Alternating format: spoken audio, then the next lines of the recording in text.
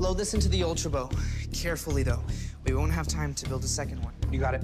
You know, distracting Evox can help us hit him with the antivirus. But his hacking made him immune to our weapons. So how can we fight him? Don't worry. I have something planned he'll never expect.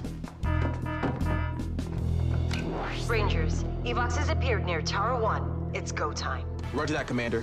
Position them for transport, okay? Absolutely. What's in those cases? I'll explain on the way. Power Rangers!